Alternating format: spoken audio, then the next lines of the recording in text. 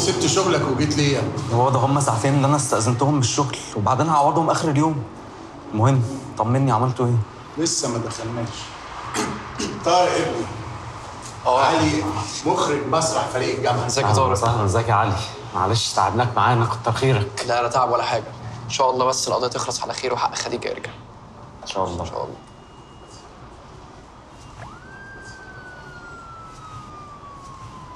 أستاذ فؤاد بعد اذن حضرتك كلمة. يا فندم أنا حقيقه يا أستاذ فؤاد مش عارف أقول لحضرتك إيه لكن ما حدش كان يقصد كل اللخبطة اللي حصلت دي. وعلشان كده ياسر جاي معايا وحابب يعتذر بنفسه لحضرتك وهيعتذر لخديجة كمان. ونعمل صلح ونلم الموضوع بدل موضوع النيابة والمحاكم والكلام ده. والله ملوش لازمة يا أستاذ فؤاد. والصلح ده هيرجع اذيه بناتي. معاك حق. حضرتك معاك كل الحق. بس إحنا بنحاول محدش يتضرر في الموضوع ونلم الدنيا. ولا إيه يا أستاذ علاء رأي حضرتك إيه؟ ما تقول حاجة. والله يا أستاذ الموضوع واضح جدا. وموقف ياسر من خديجة والأستاذ فؤاد برضه واضح جدا. وأنا موجود النهارده عشان اللي ليه حق ياخده وإلا ما كانتش الدولة تهتم بالقواضي اللي من النوع ده والله يا فندم أنا مقدر موقف حضرتك جدا. وكلنا أبهات وأنا حاسس بسيادتك وبمشاعرك بس معلش يعني يا بخت من قدر وعفي وأنت اتاسف لعمك فؤاد ولزميلتك يلا. عمو. أنا جاي أعتذر وبقول لك أنا آسف.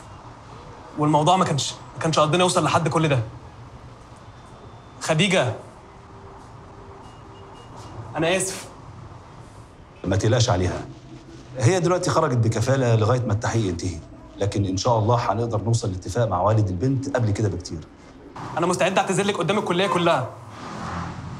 خديجة. يا أستاذ فؤاد ما تخلينا بقى نخلص الموضوع ده.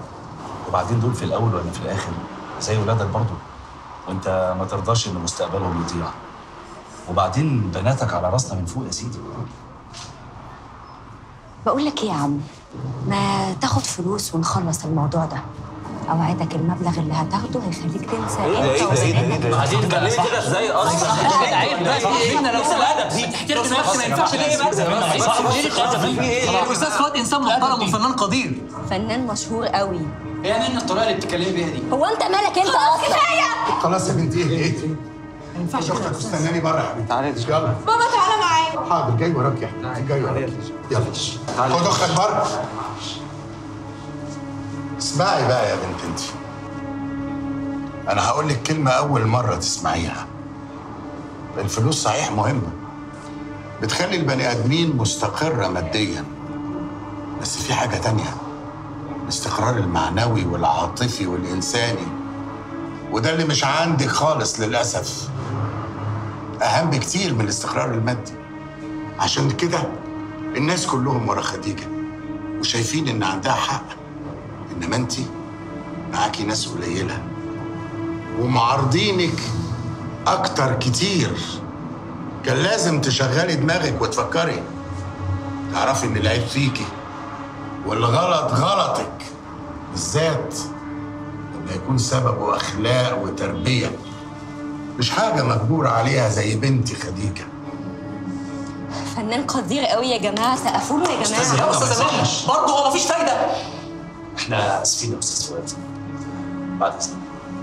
أنا هكمل. عشان الغلطان لازم يتحاسب. واتش